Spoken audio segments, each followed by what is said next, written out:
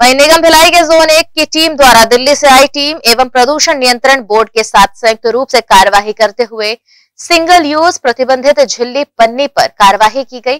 साथ ही ट्रेड और गुमास्ता लाइसेंस की तफ्तीश की गई। प्रतिबंधित प्लास्टिक मुक्त शहर व देश बनाने के केंद्र शासन के आदेश पर अमल करते हुए निगम भिलाई का अमला भी अपने शहर को प्लास्टिक मुक्त बनाने के लिए लगातार कार्रवाइयाँ कर रहा है।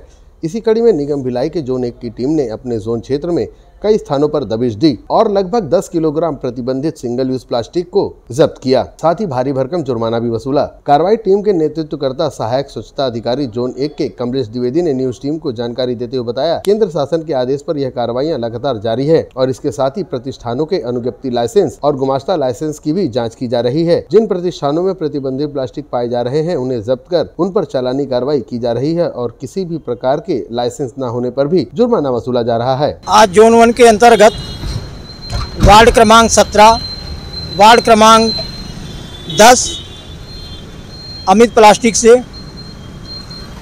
और फल ठेला वालों से, भगवान किराना दुकान से, भारत जर्दा के यहाँ से और हार्डवेयर लाइन से लगभग 10 किलो पॉलीथीन सिंगल यूज़ प्रतिबंधित पकड़ करके कार्यवाही की गई।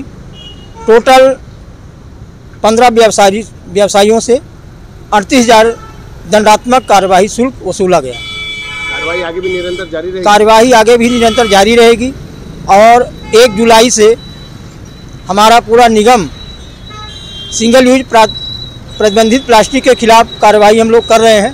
प्रत्येक दिन करते हैं door to door to door भी जाते हैं और आगे भी जाते रहेंगे। क्योंकि यह केंद्र सरकार का आदेश है कि हमें सिंगल यूज़ प्लास्टिक मुक्त शहर बनाना है, जिससे कि प्रदूषण रहित रहें।